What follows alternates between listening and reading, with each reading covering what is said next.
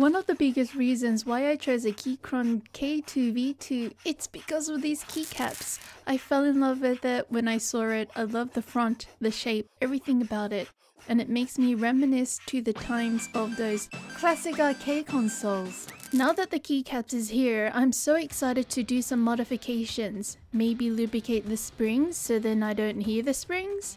$30 for 10 gram? Oh my lord. I found an alternative. It is $9 and it has 100 grams. Heavens, yes, please. And it works on plastic as well. Unlike the other one, I can click and collect this today. Yes, I can work on it today instead of waiting for two, three weeks. And I like to also save money. It looks thick, but in small doses, it's actually really thin. And I really want to try to make a more solid sounding keyboard, so I'm going to try use this anti-vibration pad. Alright, let's get started. If you're wondering how to open up a keycap, the spacebar can be a little bit tricky because it's long, but pull out from one end to the other. To get to the base, you have to unscrew all the screws. When you are removing the PCB, be sure to be really careful and gentle because the battery wire is connected to it. Now grab a screwdriver. Gently hold it on one side and with your fingers, pull it open slowly. If you haven't noticed yet, yes, I do have foam in already. I added it in the previous video. I really hope that this can make it even more solid though. So if you're gonna use this method and use a anti-vibrational pad, yeah, you have to cut the pieces as I tried to keep it whole, but it won't close properly. And then I added the box foam back in because the more the merrier they say. Okay, so I decided to lube up the stabilizers so these little black pieces don't rattle because it's quite loose. You know, the backspace, shift, and moon space. It is time! Time to put on the beautiful keycaps. Yummy, yummy, yummy in my brain. Yummy, yummy, yummy in my brain. Yeah.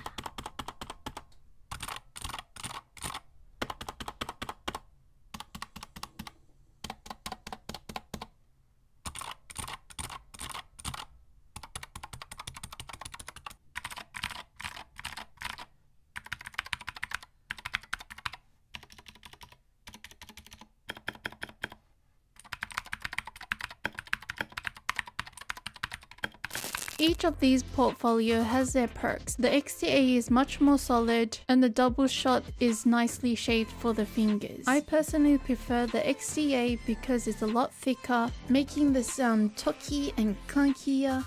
And with the blue switch, it's also clicky. It all sounds like a typewriter, which I've been trying to achieve.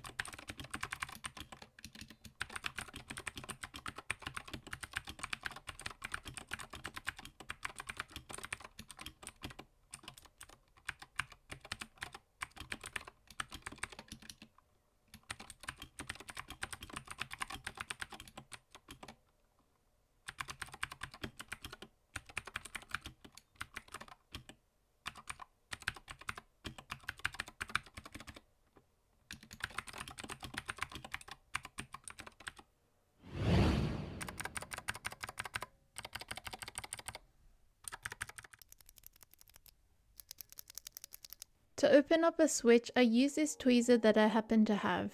Using the tweezer, I pushed the clips on each side until it popped open.